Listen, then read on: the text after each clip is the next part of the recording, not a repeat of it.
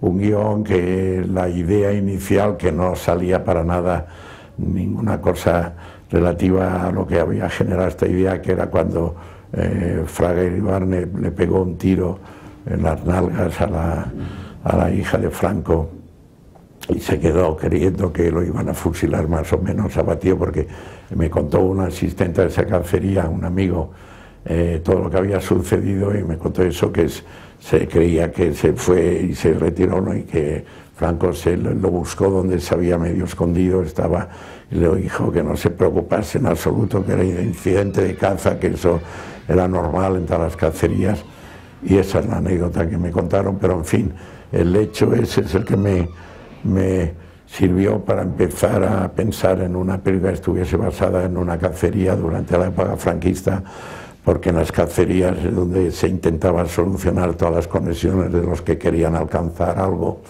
y creían que a través de si les invitaban a una cacería o las pagaban, como en este caso de la película, podrían sacar de algún ministro, de alguien muy importante, algún apoyo, alguna ayuda para los negocios, ¿no? y sobre esa idea lo hice, aunque no pude sacar el incidente de, los perdigones, me parece que fueron setenta y tantos perdigones incrustados en el trasero de la, de la hija del generalísimo.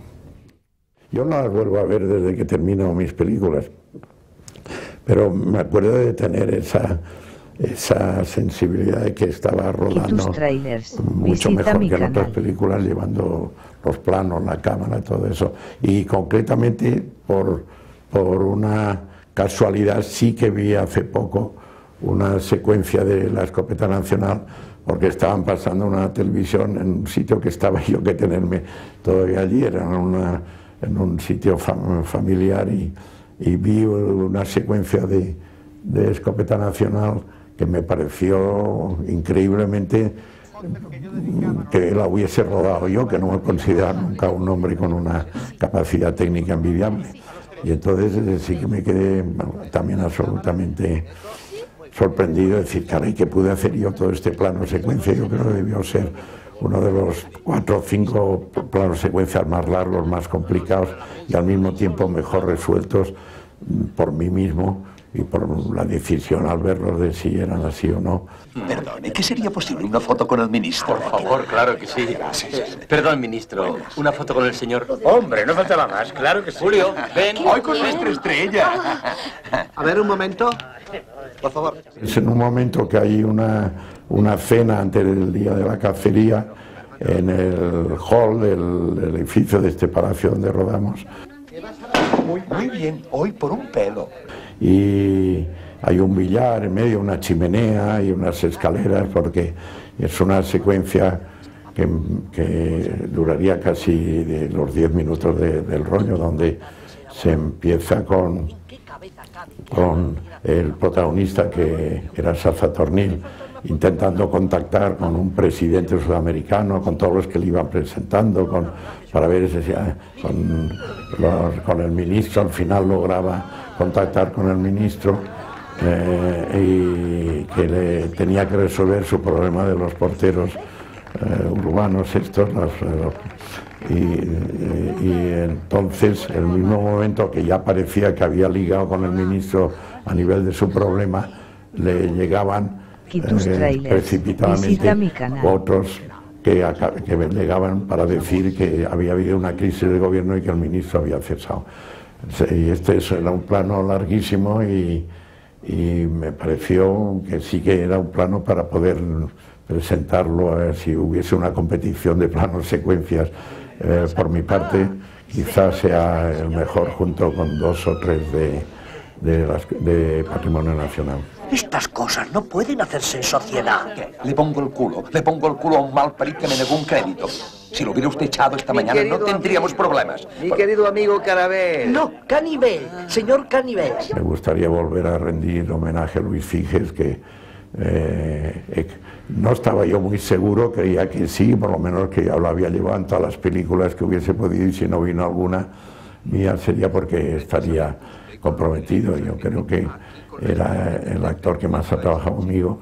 Cuidado, ¿eh? Que a mí los señores marqueses no me han dicho más que bien. Mire, los desgraciados del pueblo destripando terrones. Ahí. Y yo llevarle de chambra, así, con dos cojones. Porque eso que se hable de actores secundarios me parece innoble. Porque no hay actores secundarios, en todo caso serían actores característicos o, o, actores eh, de colaboradores, vamos, pero además los actores en mis películas, yo creo que los actores son verdaderamente los que han hecho la película. No es eh, modestia falsa, pero creo que los actores, y lo que sí que me puedo poner una medallita es en el escogerlos, creo que salvo algún pequeño caso, he escogido siempre unos actores que me han ido perfectamente, sin casi necesidad de dirigirlos, como era el caso de Figes. Anda, estas de las capitales. ¿Qué? ¿Eh? Entro yo un rato. Trailers. Tú a vigilar. Visita Si no sirve de mujer, sirve de querida. ¡Vamos! Fije lo más maravilloso que podía tener y en esta película es, es creo que donde más intervenciones tuvo de esas, de esas respuestas instantáneas, repentinas que surgían de él, que saliéndose del diálogo escrito eh, en el guion, pues me parece una de las cosas más remarcables de esta película. Ale, ¿por qué no se va al capo, hombre? Aquí no hay nada que ojear. Anda, vamos. Un momento. Tenga. Espere, hombre. Yo he venido aquí a parlamentar y parlamento. Señor Marqués, ¿quiere hacer el favor? Levántese. Vuelva en sí. Continencia. Ante el éxito que tuvo, es cuando ya pensamos, y el productor también era el que casi nos lo pidió, que la convirtiésemos en una trilogía.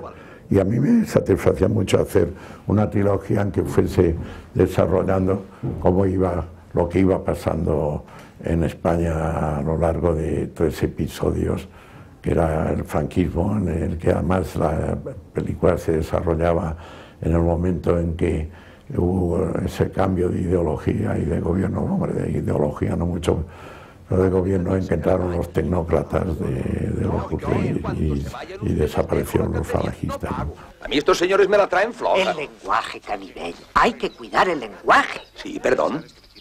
Así que usted políticamente no está comprometido. Apolítico. Total. De derechas. Como mi padre. Y eso es lo que, el recuerdo que tengo de, de la escopeta, la rodé muy cómodamente, creo que con bastante ritmo y, y- sintiéndome cómodo, entre otras cosas, pues la rodamos prácticamente la escopeta entera en una finca que estaba ahí por los alrededores de Madrid. Le consta que llevamos 10 años detrás de la anulación. Pero ¿cómo la rota? Ni rota ni nada. Unidos en el bien y en el mal, crápula. Juntos hasta que la muerte os separe. Lo que yo he unido en la tierra no lo separa ni Dios en el cielo.